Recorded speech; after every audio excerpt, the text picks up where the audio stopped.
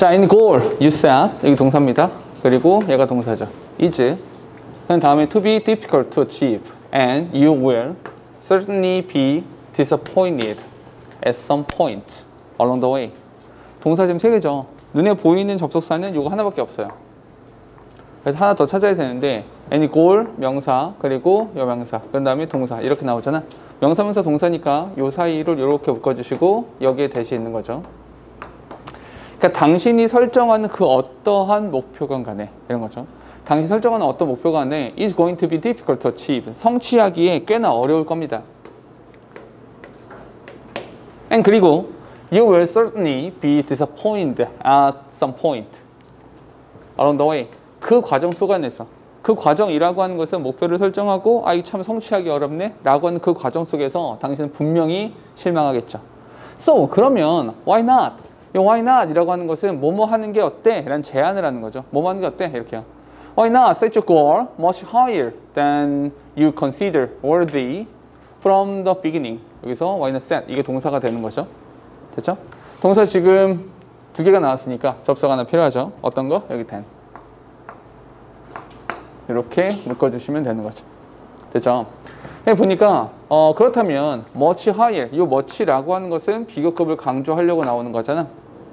You consider worthy from the beginning. 야, 아예 애시당초에 from the beginning 시작할 때부터 애시당초부터 당신이 생각하기에 worthy 뭔가 값어치 있는 어? 가치 있는 것보다 그렇게 생각하는 것보다도 훨씬 더 높게 설정해 보는 거 어때? 오케이?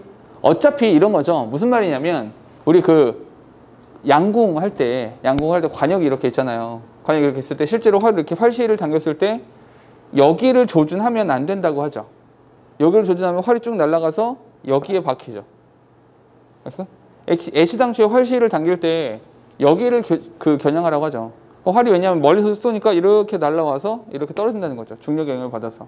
오케이? 그러면 애시당초에 높이 설정을 하면 와서 목표에 적중하게 된다라는 거죠.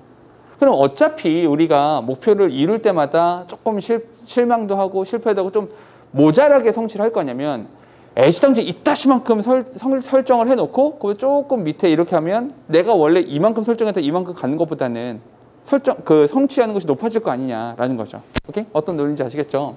그러니까 애시당초에 높은 목, 높은 목표를 설정해봐. 이게 낫지 않아? 라는 질문이죠. 또 한번 가봅시다. If, if they are going to be going to require work, effort, and energy. Then why not exert 10 times as much of each? 동사 지금 두 개입니다. 동사가 두 개나 접사가 하나 필요한데요. 여기에 if 이렇게 나와 있죠. 여기서부터 어디까지? 여기까지. 그것들은요. 여기 day라고 하는 것은 뭘 말하는 거야? 이 day, 이 day라고 하는 것은 여기 your goal 이렇게 되는 거죠. 그 목표, 당신의 목표라고 하는 것은 어, 노력과 일과 그리고 에너지라는 것을 요구할 것이 요구한다면 요구한다면 then 그러면 why not? exert 10 times as much each. 그 각각에 대해서 each. 그 각각에 대해서 10 times 10배 정도. 그 각각에 대한 10배 정도를 투자해 보는 거. 10배 정도를 exert 막 집어넣어 보는 것. 어때요? 어? 그렇게 노력을 해보는 거. 어떨까요? What you are on the underestimating your capability? What if라고 하면 뭐뭐라면 어쩌지? 라는 뜻이죠. 뭐뭐라면 어쩌지? 만약에 당신이 당신의 능력을 과소평가하고 있는 중이라면 어떠지? 생각보다 내가 되게 많은 걸 할 수 있는데 그보다 아, 난 이거밖에 안 돼. 저번에도 안 됐었고 아, 목표는 이루기 참 힘들고 어려운 일인 것 같아. 이렇게 생각하고 있으면 어떡할 거? 당신이 이만큼 이룰 수 있는 사람인데. 뒤에 You might be protesting, saying What of the disappointment that comes from setting unrealistic goals? 여기는 하나의 대사입니다. 그냥 이렇게 따로 묶어줄게요. 당신 아마 이렇게 말하면서 항변할 수도 있습니다. 프로테스트 따져갈 수도 있는 거죠. 당신이 항변할지도 몰라요. 어떻게 항변하냐면 What of the disappointment that comes from setting realistic goal, unrealistic goal? 야, 만약 그렇게 unrealistic goal, 비현실적인 목표를 세우는 것으로부터 오는 그런 실망이라고 하는 게 뭔지 알아? 얼마나 실망스러운지 알아? 근데 문장 좀 이상하죠? 왜냐하면 봐봐. 이렇게 되잖아. 이렇게. 됐어요? 오케이? 여기 생략되어 있는 거죠. 이렇게 그냥 생각돼 있고 그냥 구어체처럼 말을 하고 있는 거니까 그냥 야 그렇게 어? 말도 안 되는 목표를 세웠다가 이루어지지 않으면 되게 실망스럽잖아. 어? 당신이 그거 알아? 생각을 해봤어? 오케이 이렇게 물어보는 거죠. 근데 사실 그렇죠. 그러니까 사람이 어, 성공하는 연습을 계속하면 계속 성공하죠. 목표를 설정해놓고 이뤘어. 어, 잘 되네? 또 해보고, 또 해보고, 또 해보고. 이런 거잖아. 이렇게 될 수도 있지만, 사실은 이제 반대되는 의견인 거죠. 이 피해자의 주장은. 그러니까 이 사람의 의견은, 이 사람의 항변은 우리가 방금 말했던 그 논리죠. 성공하고 성공하고 성공해야지 성공하는 거지. 자꾸 자꾸 실패하면 실망스럽잖아. 어, 좌절하면 어떡해. 이렇게 말하는 거죠.